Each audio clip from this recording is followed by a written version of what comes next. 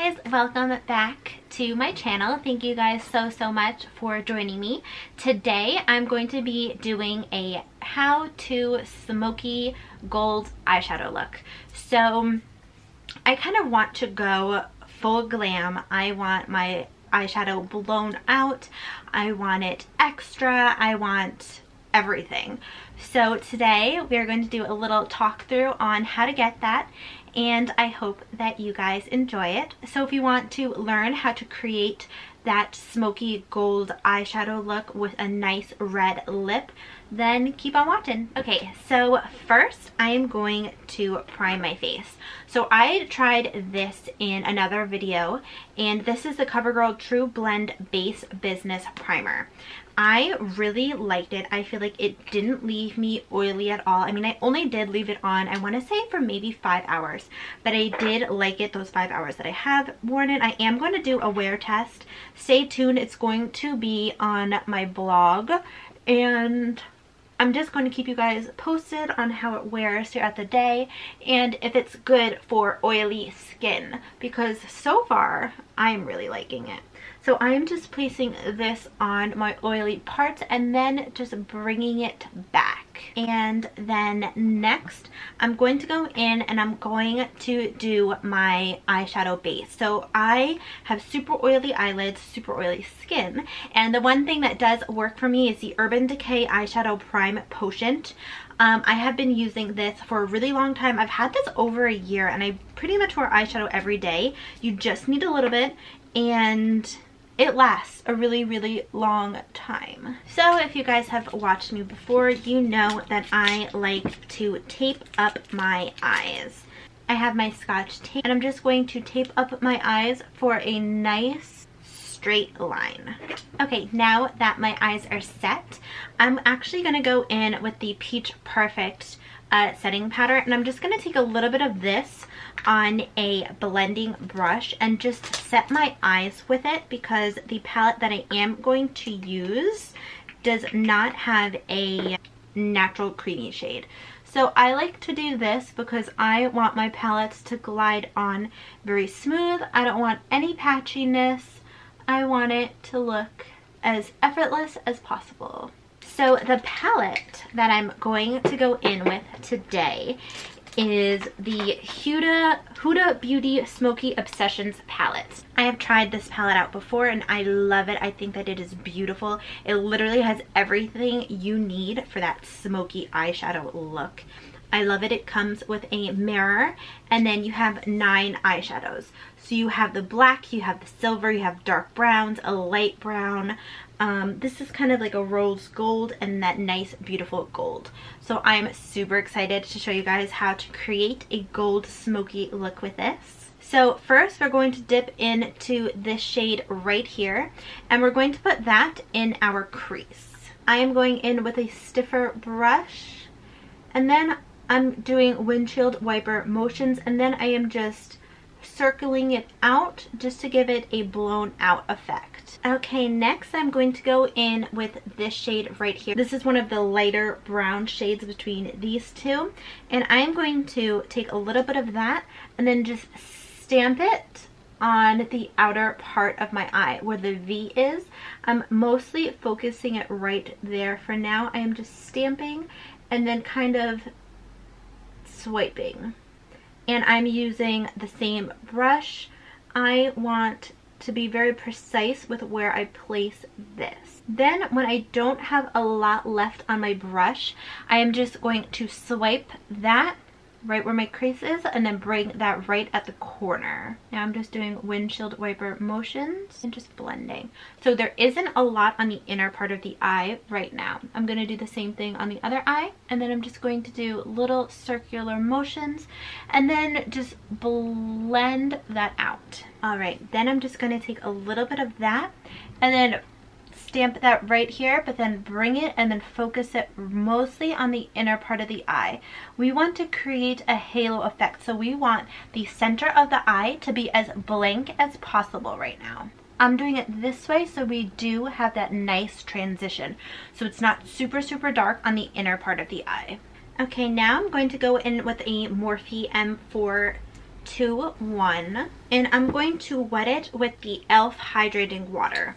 I like using this. Other people use setting sprays, but I just dampen it a little bit. And we're going to dip into this beautiful gold shade right here. And I'm going to tap some of that on. Goes on so nicely on the brush. And I'm going to put that where it's blank on my eye. So I'm just going to tap that in right now. You can do a cut crease if you want. And I'm just bringing that up. We're going to fix it with the blending, so don't worry. So I did bring that up pretty high, basically to where the end of my crease is. And what I'm to do next is I'm going to take another basic flat brush and I'm going to dip into this middle shade right here, which is a metallic brown and I am going to place that on the outer part of where the gold is and just stamp that in. This is going to be a nice transition shade between the gold and the brown on the outer part of the eye. I'm also going to do that on the inner part of the eye as well. So it is a nice transition. All right, so then next I'm going to dabble a little bit into the black. I want to say a little bit because this black is pretty intense. So I want to go in with another small brush and I just want to lightly tap into the black and I just want to stamp that on the outer part of the eye right here. Then I'm going to go in with the first brush that we used and I'm just going to blend that out. Now I'm going to dip back into the first shade that we used, that transition shade, and I'm just going to lightly place that on top and just blend everything together. I'm going in with a very, very light hand right now. Next, I'm going to go in with a clean blending brush and then just blend out the edges because I don't want any harsh lines. I want this to blend seamlessly. I'm going in windshield wiper motions and then I'm also going in circular motions. I do have to say that these shades blend very, very easily. There really are no harsh lines. It doesn't look muddy. I feel like this looks beautiful. Um, don't worry, we still have a few more steps to do, but I feel like right now it looks beautiful. It looks so good. Next, I'm going to go in with a black eyeliner. This is just the Aurora eyeliner, and I'm just going to do a thin line on my upper lash line. Alright, so I usually like doing a thin line on my upper lash line before I do a wing, especially if I'm going to do the wing by myself because I'm usually not the best at doing wings. So I'm just going to take this tape off Yes, I am going to do this tapeless. I know, I don't think I've ever done this tapeless before, but we're going to give it a shot because I found a really cool tool that I'm interested in showing you guys. This is from um, uh, Beauty Blender. This is Liner Design. I'm only using this part. It is the, um, it kind of looks like a guitar pick, and this is supposed to help give you a line. So all you have to do is just hold it against your lash line and create that nice sharp line.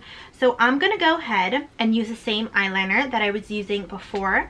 And I'm to move in for you guys so you guys can see if this actually works. Alright, so this is the flat part. I'm going to push that right up against my line. And what I'm going to do is I'm just going to draw a nice line that is pretty extra but it's fine. I did get some on here, but that's all right.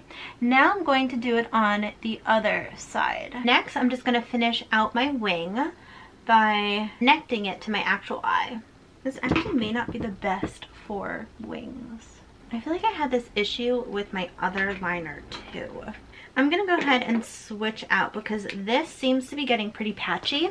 So I switched it out for the liner that I got from Amazon. I feel like this actually helps get that nice straight line. Alright, so if you guys have watched me before, you know I don't do liners that well, but I do have to say this wing actually came out pretty good. I really do like how this looks. Okay, so this one I'm having a little bit of difficulty with. So this one I am having a bit more difficulty with and I feel like it is because that first pen that I use didn't really work well with um, making that sharp line.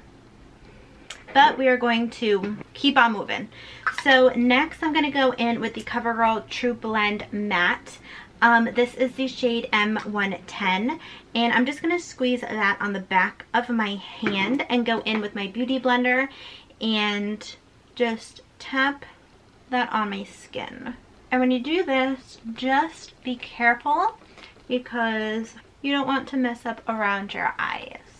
If any of you guys ever feel like you have trouble with eyeliner, just remember, eyeliners are like eyebrows. They're supposed to be sisters, not twin. I've actually grown to really like this foundation. I used it the first time yesterday and I used it and I was like, oh, I don't know, it really doesn't look matte, but I feel like it looks so beautiful on the skin.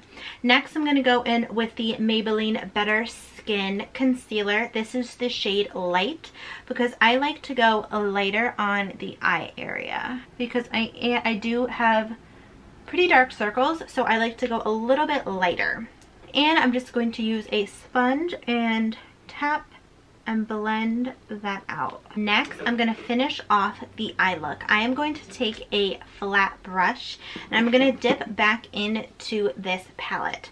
I'm going to go in with this dark shade, the darker brown, and I'm just going to stamp that along my lower lashes. I'm kind of stamping and blending. Next, I'm going to go in with a pencil brush and I'm going to dip into this first shade that we used, the transition shade. And I'm just going to blend that out. And I like to drag mine down just a little bit. We're not done with this test yet. Keep it close. I'm going to go in with the Urban Decay 24-7 Glide On Pencil. And I'm going to put this on my waterline. I like this because it's super dark and dramatic. I also want to line my upper lash line. I really like doing that on the outer part of my eye because I feel like it really makes my eyes look a little bit small. I do have bigger eyes, so I like them being a little bit smaller and it makes them a lot more intense, which I love. All right, so then we're gonna dip back into this. This and we are going to go in with that gold shade and we're using a pencil brush just dipping into it and we're going to put that right on the inner corner of the eye to really make it pop kind of bring it down to connect to where the black is on the waterline so we are done with this palette and next I'm going to set my under eyes so I'm using the Too Faced. This is the It's Banana Setting Powder. This is in Banana Cream. It does smell like bananas, but it doesn't smell like obnoxiously like, like bananas. So I'm just setting my under eyes. This also helps brighten up, like you could see. Look at that compared to this eye. This definitely brightens up the under eye. And then next I'm going in with this Peach Perfect setting powder and I'm just going to set my whole face. Now, this is usually when I would do my brows, but I just got my brows done. I got them wax and tinted, so I really don't need to do my brows, but I am just going to comb them out. But this is usually when I would do my brows, but they're already done, so I don't have to worry about that. Now on to bronzer. So I'm going to take the Butter Bronzer. This is in the shade Sun Kissed. I love this. If you know me, it smells beautiful. And I'm just going to bronze up my face right now. I usually do have to go a tiny bit over this a lot over the same spot a lot because this is a little too light for me I am pretty tan so just bronze myself up. But I don't mind going over this a lot because I am obsessed with the way that this smells. So I'm like, it's fine.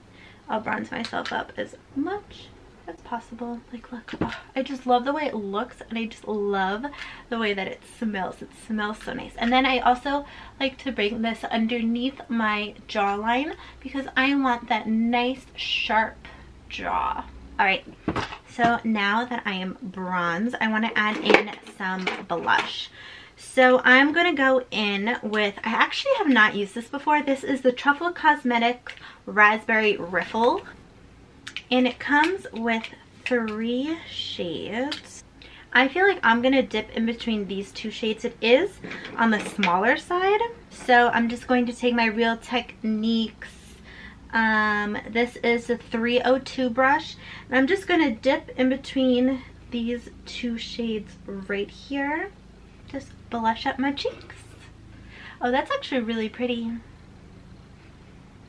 I really do like this blush. For first impression, I think I got this in one of my Ipsy bags.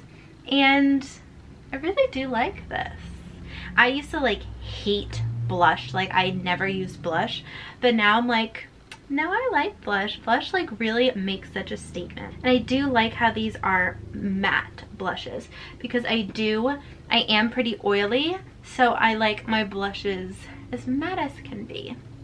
But you can see like blush makes such a difference and I'm just gonna blend that out a little bit more but that's actually a perfect blush for this. I really do like this one, but this one it would be a little too pink for my look that I'm going for right now. Next, I'm going to do my eyelashes. I haven't done my eyelashes yet. So I'm going in with the Maybelline The Falsies Mascara. And I am just putting that on my upper and lower lash line. I do put on two coats of mascara on my upper lashes. You know me, I love my Ardell Magnetic Lashes. I am going to put, these are the accents. Um, I've used them in quite a few videos and I'm just going to put that on my eyes next. Now that these lashes are on, I am going to go ahead and I'm going to highlight my face. So I am taking the Kylie Cosmetics Salted Caramel highlighter. I really, really like this highlighter. I feel like it gives the perfect highlight. Like you can have it subtle or you can build it up. This is a nice golden highlight. I feel like the gold matches the highlight on the eye as well. You can bring that in more if you want like I am right now. And then I'm just going to take this and put a little bit on the center of my nose. And then I'm going to put some on my cupid's bow. Now what I also want to do, take a clean brush and just highlight brow bone with the same highlighter. I feel like this is such a beautiful highlight. And I'm just going to drag that down a bit as well. Now when you highlight the brow bone, you want to go from where the arch is down. So now I'm all highlighted and the last step is to contour and lipstick. So for contouring, I'm going to take the Tarteist Pro palette. I usually, I've only used this for this brown shade right here and for the highlighting shades. So I'm going to dip into this brown shade and I am going in with a Real Techniques 303 brush. I'm just tapping in lightly. This palette smells like chocolate. Like it is so beautiful. And I'm just going to sculpt out underneath my cheekbone and then blend that up like you could see that makes a good difference and then some people what they like to do just go underneath your lip very very lightly and you do that to create more of a pout. Alright, so I am done with this palette. It was very, very quick. I do like the highlighters in this palette. I just wanted to do something with the Kylie highlighter because that holds a special place in my heart. One more step. Sorry guys, I feel like I keep on saying that there's one more step. I'm going to go in with the uh, Too Faced, this is the Peach Blur. I love this. You could see I use this quite a bit. And this I like to stamp on my face. And this helps blur out any imperfections. So I like to use this on my pore area and right in the center of my face just to help blur anything out. And I do like this because it still keeps your highlight, blush, and everything in contact. You really don't need enough of this. I just use a little bit as you guys can see and I feel like my face looks different already. So then last step is lipstick. I am going in with the Kait Cosmetics lipstick. I wore this earlier last week and I wore this one day and then I wore the Anastasia Beverly Hills um, lip color in the shade red the next day and I compared the two to see which one I liked better. And I'm gonna be completely honest this one lasted a lot longer and when it faded, it faded nicely. Like it wasn't like, it wasn't like clumpy or anything that it just faded like in the waterline a little bit, like a nice pretty fade compared to the Anastasia Beverly Hills. I feel like that faded a bit more clumpy on me, which usually never happens. So I'm super surprised that it faded that like clumpy, but this is definitely going to be my go-to. This makeup look is actually what I'm going to be doing for the wedding. A nice little smoky eye with some nice lashes, wings, and a nice red lip to match my whole outfit. And I'm just to put this on my lips now. Now what I love about this too is I didn't have to line my lips while I was doing this and I feel like it still looks just as good. It doesn't bleed. My teeth look incredibly white. I really like this combination. I feel like it looks very old school glam, which is what I am going for and it also dries down very matte. It doesn't smudge. I feel like this lipstick just looks perfect. I am so so happy that i collabed with her and that she gave me these products because i love them so so much. This is literally my favorite red color ever. I'm obsessed with this. But this is the finished look. I really, really love like the highlight. It's beautiful. I feel like this is just very like old school kind of glam, like glamorous red carpet kind of look. And I am so excited that I'm going to wear this for the wedding. I feel like it's going to match perfectly with my red dress.